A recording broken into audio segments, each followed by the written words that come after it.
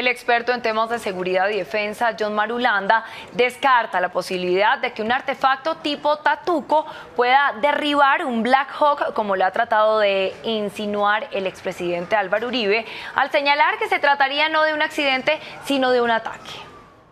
John Marulanda es piloto de helicóptero y es comandante de aviación del ejército, quien conoce de cerca la zona donde se accidentó el Black Hawk.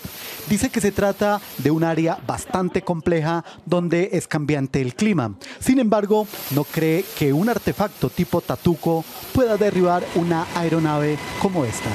Impactar un helicóptero que va a 170 kilómetros a bajo nivel, volando a esa, velocidad y a esa altura baja, con un tatuco es muy difícil. Eh, tiene que ser un golpe de suerte muy grande. Además, lanzar un tatuco en esa selva que estamos viendo en donde cayó la máquina es casi imposible. Sobre la posibilidad de que el helicóptero haya sido impactado por otro tipo de armas, indica.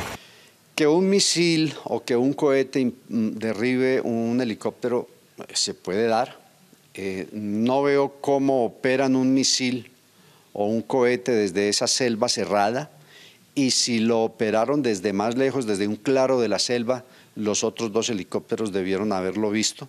En relación con la autenticidad de la conversación que reveló el senador Álvaro Uribe, Marulanda no descarta que pueda llegar a ser verídica, no obstante expresa algunas dudas. Parece ser que los impactaron por debajo, pero no eh, balas, sino como un tatuco o algo. Yo no demerito lo que se dice ahí, pero tampoco le doy una valoración mm, de certeza total. Eh, el hombre pudo haber dicho esto en un momento de, excitación, como se ve ahí.